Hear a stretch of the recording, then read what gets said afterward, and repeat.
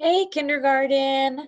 So, this week in reading, we're going to talk about something called text features.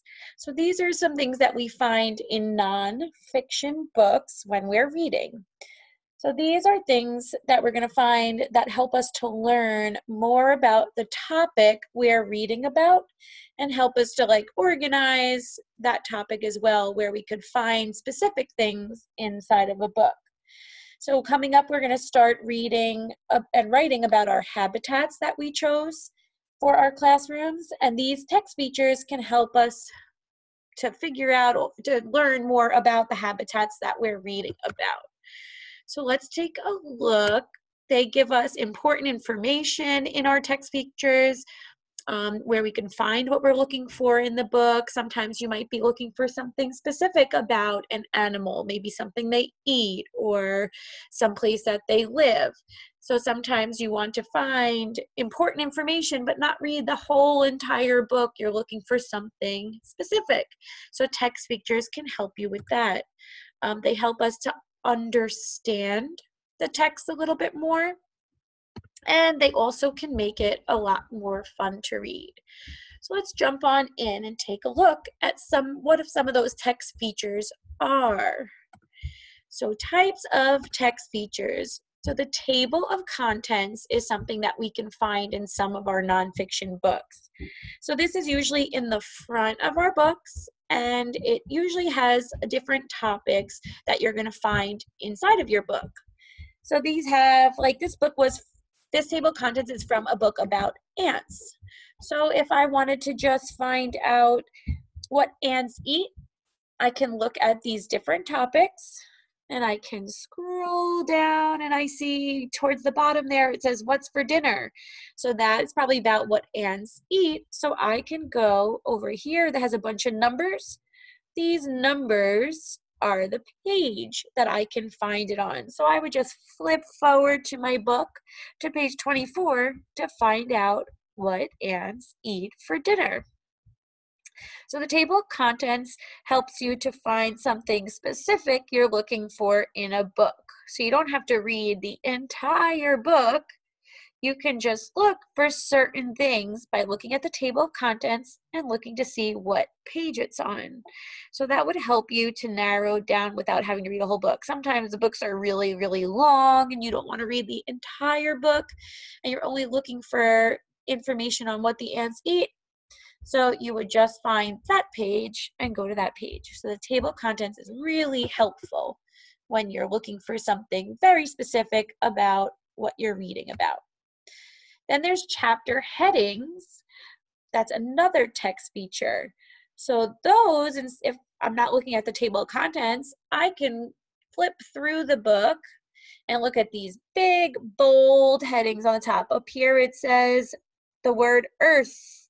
So that chapter started with the talking about the earth. So this was in a book of planets and it was talking about the planet Earth. So you could sometimes just flip through the pages and look at these big, bold headings at the top of the chapter to know what that part of the book is going to be about. So, chapter headings are really helpful when you're just skimming through a book and wanting to find something specific to learn about. Then we have an index. An index is another part, usually in the back of the book, that if we're looking for something specific, will tell us what page it's on. So this was about the Earth and about gas and light and heat and space. So this was a book about space and all different things I can learn about space. So if I wanted to learn about the sun, I can see here on the index that I would have to go to page 10 or 11 to learn things about the sun. So the index also helps you to find very specific things that you want to find inside of your book. The glossary is also usually in the back of the book. And that can help you to learn about what some of the words that you didn't know mean. So this was the glossary in the book about planets and the solar system. And you could see that the first word here, this says explodes. So some of us might not know what explodes means. So when I'm reading my book, if I don't know what the word explodes means, how am I going to know what I'm reading? So I could go to the back of the book and find this part that's called the glossary. And I can look up this word explodes, and it says blows up with a loud noise. So now I know that explodes means that something blows up with a loud noise.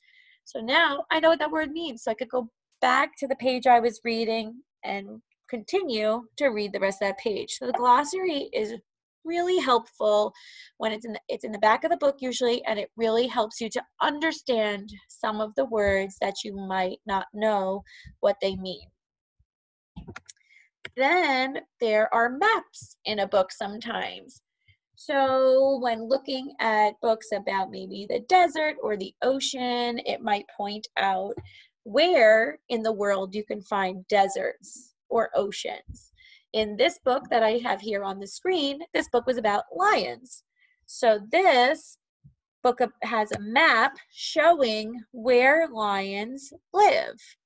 So the words on this book says most lions live on the savannah in Africa, and it is very hot and dry there. And then it points to this map down here and points to Africa. So you know that there's a map showing Africa to go along with the words talking about where lions live.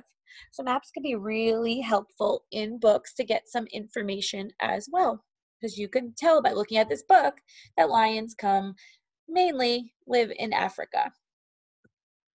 Another text feature that you can find in our books that's really helpful is diagrams. Diagrams really help us to learn details about different things we're reading about. So this book that I have this diagram from was about ladybugs. So this showed me all the different parts of a ladybug. It's a diagram of the parts of a ladybug. Usually it's blown up real big, so this ladybug looks real big. And then it points to each part of the ladybug with labels.